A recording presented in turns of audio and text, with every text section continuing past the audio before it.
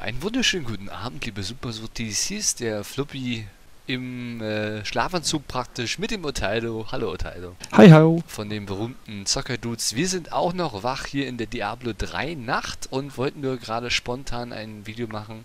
Nicht um uns lustig zu machen, um Gottes Willen. Nein, auch, wer würde äh, schon? Nicht wie der Silencast hier, der auch sagt, ich spiele heute nicht mehr, ich spiele erst in zwei Tagen. Ähm, worum geht es? Natürlich Ansturm, Diablo 3. Viele stehen in Berlin sogar noch im Alexa bei der Eröffnungsparty, um ihre Kopie zu bekommen. Hoffentlich haben sie genug CDs da. Und äh, die Server waren natürlich, wie man eigentlich hätte erwarten können, äh, um 0 Uhr natürlich nicht ready für 30 Milliarden Menschen, die das Spiel spielen wollten.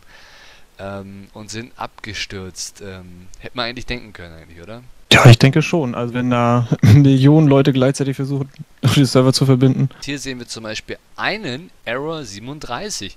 Fehler 37 scheint wohl sehr prominent zu sein und wir haben uns überlegt, wie gesagt, nicht um euch zu verarschen oder so, aber vielleicht wollt ihr euch erinnern an diesen Tag mit diesem hübschen Shirt.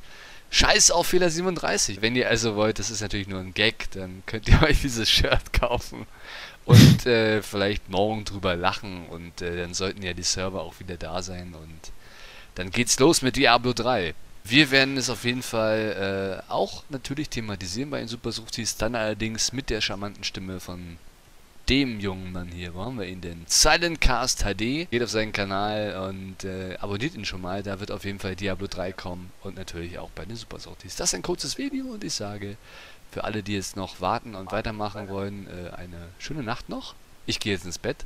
Morgen ist auch noch ein Login-Tag.